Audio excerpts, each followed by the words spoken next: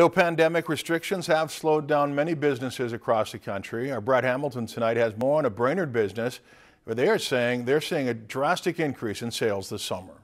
While this pandemic has caused many within the business community to apply the brakes this summer and adjust to the harsh times, Brian Moon, who is the store overseer at Easy Riders Bike Company, says the Brainerd shop has seen a boom in business this summer. And so people are going for it. They're, they're popping the clutch, they're pulling the trigger, they're getting out, and they're doing life on a bike.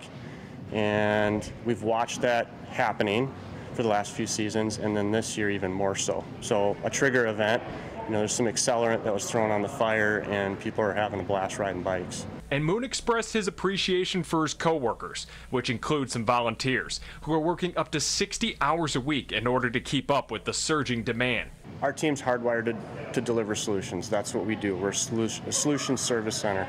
Um, so we're, we're all convicted and convinced that, that bikes are a great solution. It solves a lot of problems for the community, for our clients definitely not easy, even though we're called Easy Riders. There's a lot of hard work behind that. But it's not just the people selling the bikes that are noticing the resurgence.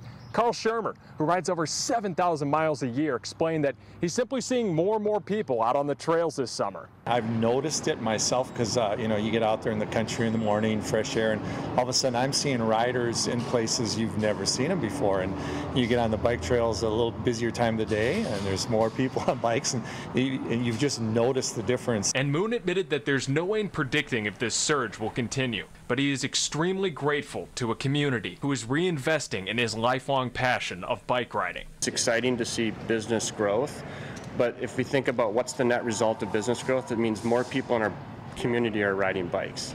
And so on my back wall right behind me, you see one word service. That's what Ken and Lori Shepard built the business on. Serving the community. And in 2020, I think we're learning about you know the nitty gritty and getting in the trenches and serving. Reporting from Brainerd, Brad Hamilton, Lakeland News. According to a study done by the National Public Diary, bike sales are up 31% nationwide for this year's first quarter as compared to last year's. Lakeland News is member supported content. Please consider supporting Lakeland News today.